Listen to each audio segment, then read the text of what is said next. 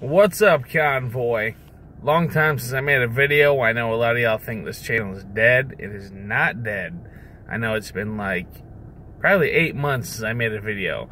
But uh, I got a lot of news coming up for you. A lot of uh, stuff coming up on uh, why I haven't made a video in so long.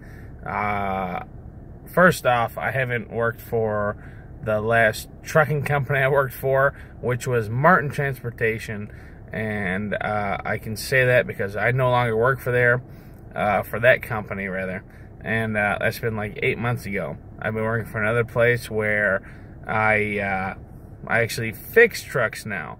I don't drive. I drive occasionally. Once one of our drivers calls off, I'll take over their run. But uh, my primary job is to fix trucks, which is a good hybrid for those of you who followed me long enough. Know that I used to fix cars and then I would drive trucks. So now I've kind of merged those where I I uh, I, I I drive trucks and I fix them now. My primary job is fixing trucks. So stay tuned for that. I will let you guys know exactly what happened with Martin Transportation and what my current job holds for me uh, at the moment.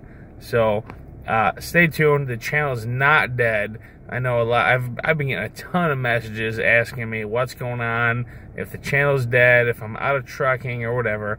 I'll clear a whole lot of stuff up. Uh, probably about a week. Yeah, I'd say about a week. Probably from the time that this video is uploaded to next Wednesday or Thursday, I'll put up a new video on exactly what's going on. So the channel's not dead, and I'll let you know what's going on by a week from now. Like I said, by Wednesday or Thursday. So stay tuned for that. And I appreciate you guys for sticking around. And as always, run hard and get paid.